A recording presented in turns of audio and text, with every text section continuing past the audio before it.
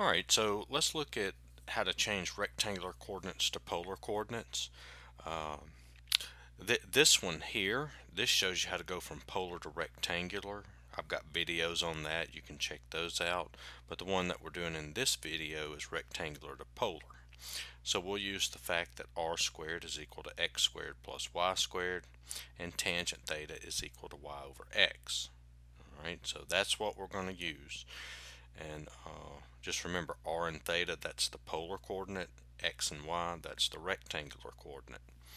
And what I'm going to do is I've got several examples and each example will have its own video because they you know they might take a little while to do on some of them but here's the examples. So this will be video 1 video or example 1 example 2 example 3 4 and then 5 so what I've done is each point you know I've done a point in each quadrant and then this video here th these uh, these points lie on the on the X and Y axis so you can check those out too. Alright so let's get started alright so let's look at example 2 uh, we want to convert these from rectangular coordinates to polar coordinates and give two pairs of polar coordinates for each one. Alright, so you can see in this example there's actually four examples. So what, what I'll do is I'll, I'll go through this first one kind of a little slower and then the next ones we'll go through those a little quicker because they're I mean they're all the same if you can do one of them you can do them all but I did want to show you one from on each quadrant alright so let's look at the point 0 negative 3 so we're going to work on this one Alright, so the first thing I need is I need R. Okay, well, let's look at it this way. Let's let's plot the point first. So if I plot 0 and then negative 3, that's down here somewhere. Okay, notice I'm not plotting them exactly. All I care about is what quadrant they're in or, or where they lie. Okay, all right. So we got 0, negative 3. Alright, so we know that r squared is equal to x squared plus y squared. And so that would tell us r is equal to the square root of x squared plus y squared. And so r is, let's see, 0 squared plus negative 3 squared Okay. And so R is equal to, well, that's 0, that's 9. 0 plus 9 is 9. Square root of 9 is 3. So there's R.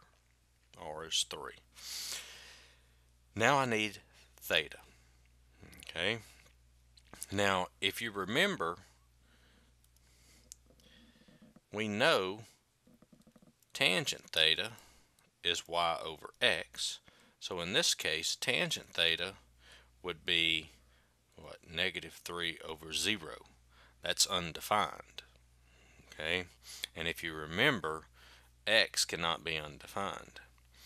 But look, when one of the points falls on the axis, well look at this. That's what? 270 degrees, right? So we get theta is 270. And and it's it's that simple when it falls on there. Just plot it and you know, look, it's either going to be 90, 180, 270, 0, or I guess you could do look at it as 360 also. Okay?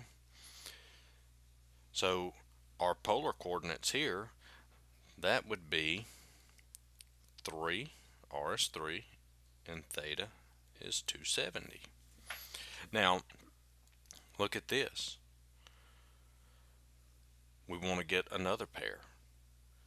So we've got R is 3. Okay. Now notice I went from here to here. That's 270. But what if I rotated this way? Well, that's rotating what? 90 degrees? But since I'm rotating in the opposite direction, that would be negative 90. Okay, and then look at this. R, R can also be negative. Okay, I just I do the positive one. Okay, I do I, I like R to be positive and I like my angle to be positive. So more than likely this is the that's the coordinates I like to find.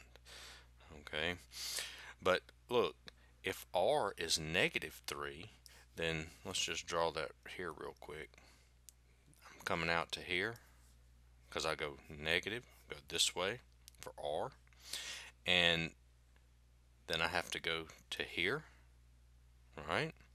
So R is negative 3, I rotate it in a negative direction, so that would be negative 90. That's also an acceptable answer. Or I could do negative 3 and then look, I could rotate this way. Okay. And I'm sorry, this right here should be positive. Okay. I'm rotating this way. When you're rotating this way, that will be positive.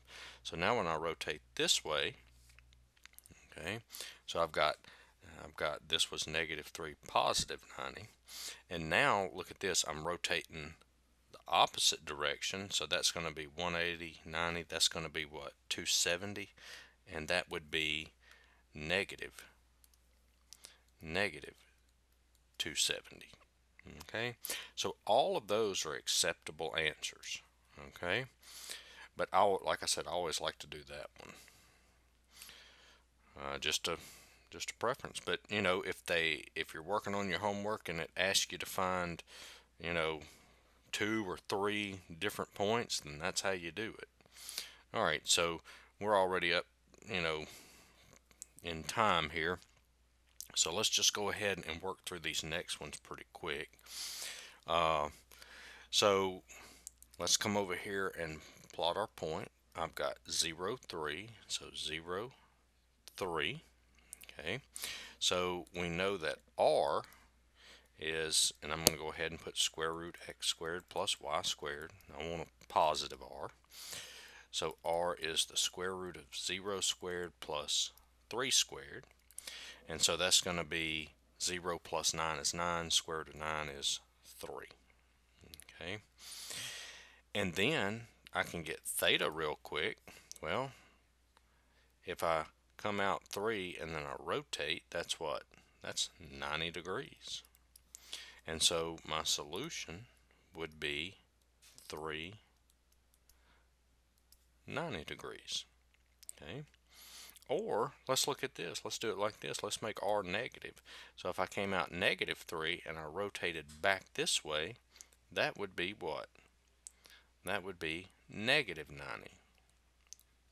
Okay, and so there that would be your second point. Okay. All right, now let's look at the next one.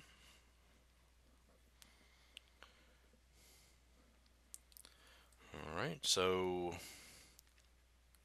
let's do 2, 0. So let's plot this point. Uh, we go over 2 and then 0, so that would be this point here. So let's find r square root of x squared so 2 squared plus y squared so that's 4 plus 0 is 4 square root of 4 is 2 so r is 2 and then theta well I didn't rotate any did I so we could say theta is 0 degrees okay so I would have I would have a solution of 2, 0 degrees. And then another solution, I could do negative 2, okay? And actually from here I could rotate this way or I could rotate back this way. I could say negative 2, 180. Or I could say negative 2, and then if I rotated back this way, that would be negative 180. Okay. All right, so let's check out the last one here. Hopefully you're getting the hang of these. These are actually easier than the other one, than the ones that fall in the, uh, you know, in the different quadrants, first, second, third, and fourth quadrant. A lot easier when they fall on the axis. All right, so let's look at this, negative 4, 0. So let's see, negative 4 and then 0. Okay, so let's get r. r is a square root, and that's going to be negative 4 squared plus 0 squared. So that's 16 plus 0 is 16. Square root of 16 is 4. And then we need theta. So if I'm out here at 4 and I rotate, well, theta is 180 degrees. And so my polar coordinates would be 4, 180 degrees. Okay, so see I went out here to 4 and then I rotated 180 degrees. Okay, or we could actually say what? 4 and then negative 180. And then let's do it when r is negative. So I go to negative 4, okay, and then don't rotate any, and that would be 0 degrees. So all these are the same point in polar coordinates. All right, so hopefully that helped. Uh, check out the other videos. Give me a like, share, and subscribe, and thanks for watching.